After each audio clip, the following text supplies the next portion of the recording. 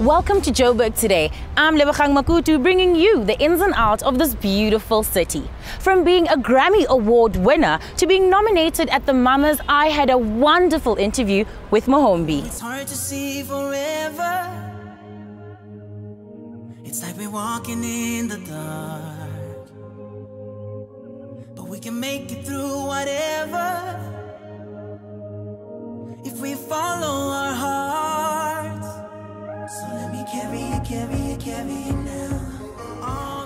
Who is Mohombi in a nutshell?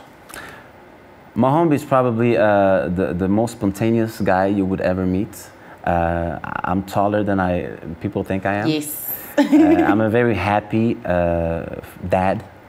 You know, besides being an artist, I'm I, I am also trying to be a good father. Oh, wow. And uh, Mohombi is somebody who's uh, using music to actually uh, change the world. So how do you juggle everything? I mean, you're a family man. You are you you literally cater for almost every genre of music. How do you handle all of it? How do you work around it? I think it's just passion, and uh, instead of hitting the after party, you know, I, I might sometimes just go to the studio and make my own little party and work at the same time. Or uh, I work all the time. We work in the car, in the taxi, on the airplanes, and uh, you know, when J Lo calls me for a song or for some melodies, I, you know, you gotta deliver. Or Akon or Enrique Iglesias, because I'm also a songwriter. Besides being an artist, I write a lot of music. I spend a lot of time in the studio. I don't know how I make it happen, but for some mysterious and you know magical way, this is working. For some Thank God way. for that. Speaking of Joburg, what are one of your most favorite spots about Johannesburg, and what actually brought you to Joburg? Well, uh, I came, uh, first of all, Joburg is a beautiful city. Uh, I've spent a lot of time in the, the Mandela Square uh, this, this weekend, and it's definitely like a very charming and nice place to stay at and relax and some good food and stuff. Uh, what brings me to Joburg is uh, actually uh, music. uh, I, was, I was at the Mamas this weekend, Yes. uh, and uh, I presented two awards Best Hip Hop and Best Breakthrough. I'm lucky I didn't get shot for the hip hop one because it's pretty controversial, right?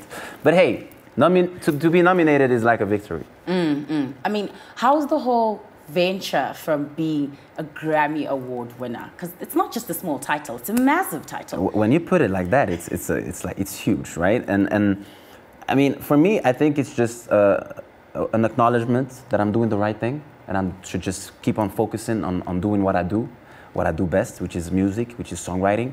And that, Grammy that I share with Pitbull uh, for the work that I did on his album and the songwriting that we did and the songs we sing together. He's a really good friend of mine. Um, so it was a really cool experience to be an African representing Africa and opening a door and saying, guys, my fellow African musicians, this is the Grammys. Wow, so fantastic! Now, what are you currently working on, and who should we kind of expect to see you with?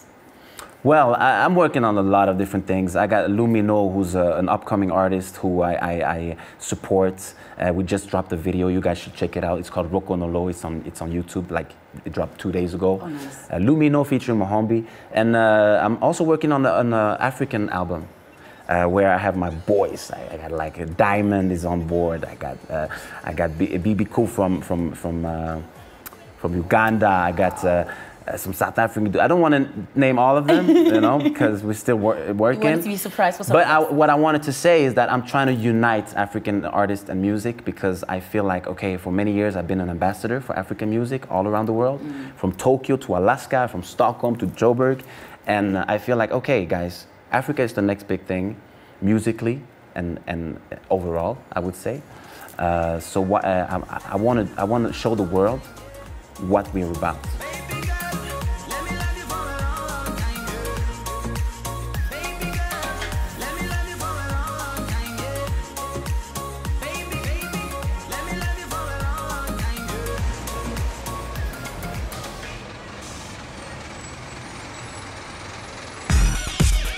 Catch us on our social media platforms. On Twitter, it's at Joburg Today, and Facebook, it's joburgtoday.tv. Breaking the world record for the longest DJ set ever. And finally embracing Joburg with his presence, Leroy had a one on one with DJ Obi. DJ Obi, welcome to the show. It's a privilege to have you here. Thank you very much, man. Thank you so much. Now, man, for those who don't know who you are, why don't you share with us a bit of a bit about yourself? Um, I'm DJ Obi, uh, based in Nigeria, and uh, currently the world record holder for longest DJ set. I played uh, 230 hours nonstop, nonstop, no sleep. Um, I am affiliated with Syndicate Records, which is a record label to Lynx, Nadu, and Blink. Um, currently in SA, just you know, doing a lot of gigs and uh, feeling out the vibe. It's Now, good. I mean, aside from actually, you know, being a world record holder, um, you've done some amazing work with guys like Lupe Fiasco, Two Face, just to name but a few. Yeah. But you also got the opportunity to actually meet your role model, and that was Diddy. Sean Puffy Combs, aka Take Diddy. that, take that. I mean, I mean, man, that's got to be mind blowing. But I mean, what was it like for you, and has it influenced your your? It your definitely has influenced like my whole DJ career because you know someone like that just all he does is motivate you, you know, and inspire you to be as great or even greater than he is. So meeting him was a privilege, you know, in different platforms, different times, concerts or DJ conferences and stuff like that. So you know the messages we, you know, the one-on-one interaction was pretty quick, but at the end of the day, I left with message and, and a good like good advice and motivation to be great. So it was always a great opportunity to to meet him, you know, or to witness him perform, you know, see him backstage, all that kind of stuff. It was really cool. Now, speaking of performances, you've been here for a couple of uh, uh, days in South Like a, Africa. like a week now so far. Pretty much, actually, yeah, a week right now. Today, so a week. uh, So, how's that experience? It's been great, man. I love it. The vibe out here is really good. Like it just challenges you to be creative, you know, musically especially. You know, you guys have very good sound, and um, South Africans are music lovers, so it's always good to play for people like that because they enjoy music and they enjoy a good set and good music. So, you know, if you're a good DJ, you won't have a problem in SA. So, does this mean that you're going to be collaborating with a few of the local artists? Well, I plan on doing that maybe next year. You know, looking into the music, trying to see who can who I can work with out here, but definitely in in the works. Now, talking about uh, looking forward, looking ahead. I mean, what, what game plan do you have? I mean, honestly, we're still on the on the on the quest for global domination. if to say, you know, just really trying to become a household name, but worldwide. You know, trying to bring my own piece of Africa to the rest of the world. You know, so that's really what the game plan is through music, through DJing, and the entertainment.